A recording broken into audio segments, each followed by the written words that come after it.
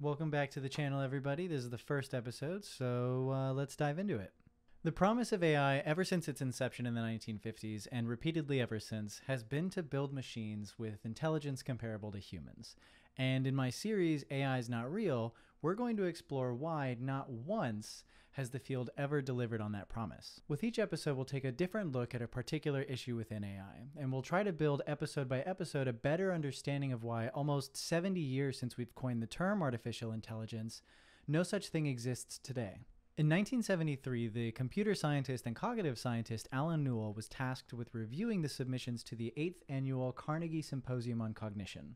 The idea was that he would review the submissions to the symposium and see what kind of progress we've made towards understanding human cognition. The problem for Alan was it was difficult for him to really see any progress being made towards understanding the human mind at all. His comments came in the now famous paper, You Can't Play 20 Questions with Nature and Win. In it, he detailed how recent advances in cognitive science weren't really bringing us closer to a holistic, complete understanding of how the human mind worked. His feelings on the matter can be pretty much summed up in this really famous quote of his I'm a man who is half and half.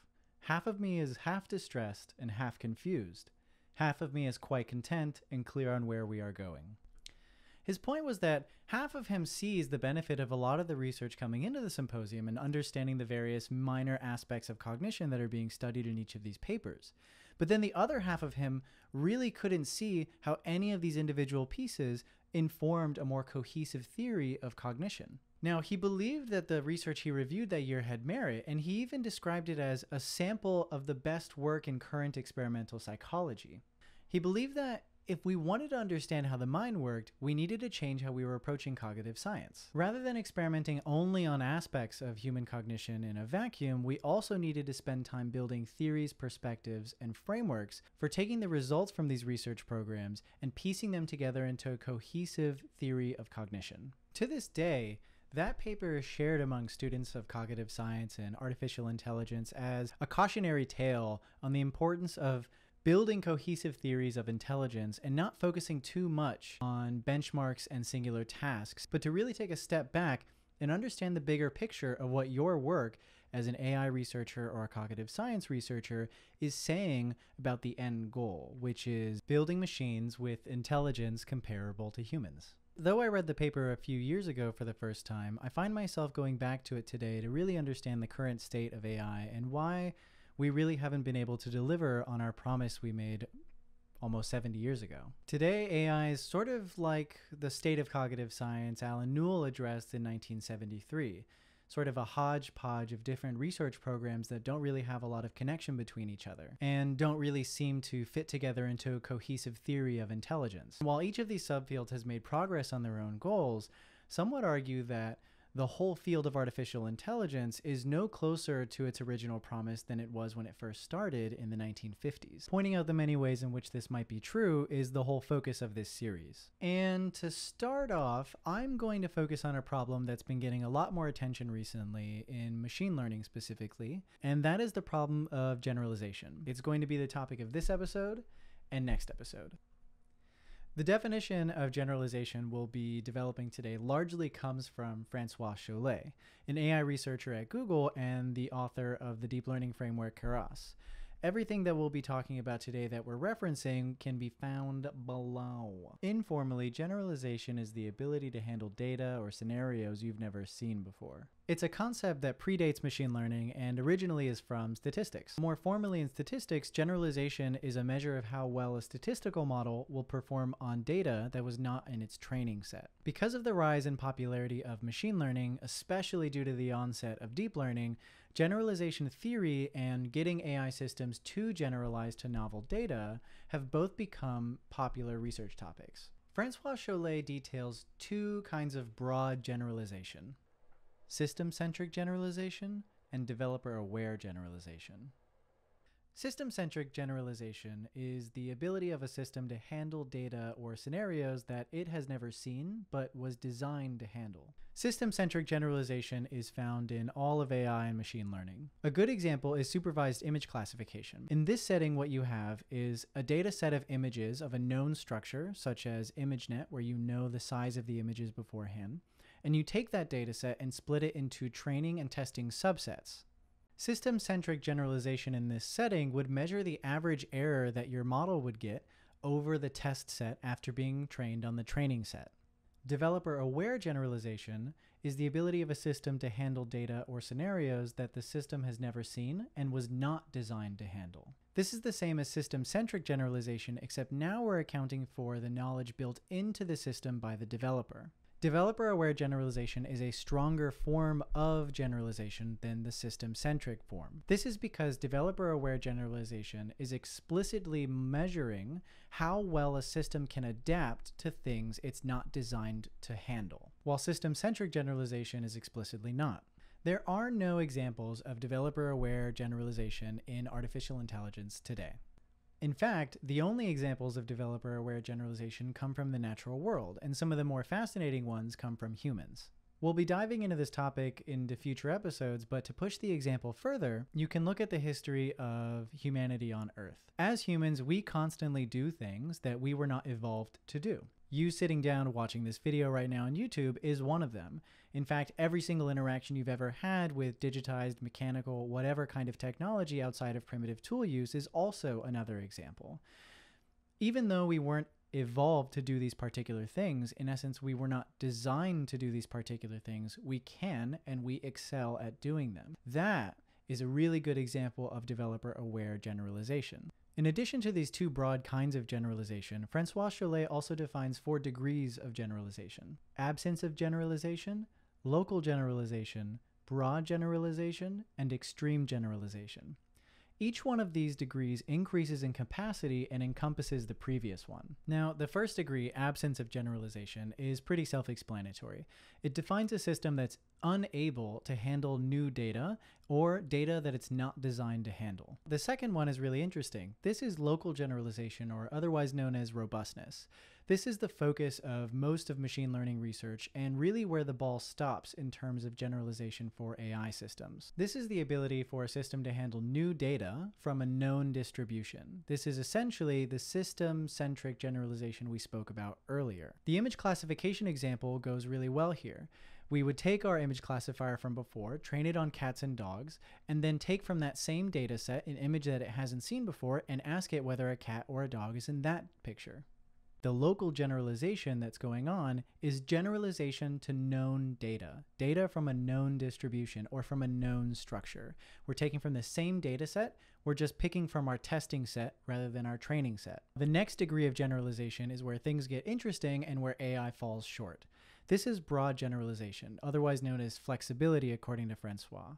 And this is approaching human like generalization. No artificial intelligence system belongs here in this bracket today. A good example is L5 self driving, or as Francois notes in his paper, uh, passing Steve Wozniak's coffee cup test, where we would ask a robot to go into any arbitrary kitchen and ask it to make us a cup of coffee. If the robot can go into any arbitrary kitchen like you or I could and make a cup of coffee without anyone intervening on it, then it would have passed that test and it would have been a good measure of broad generalization. Now, the next level or the next degree of generalization is extreme generalization.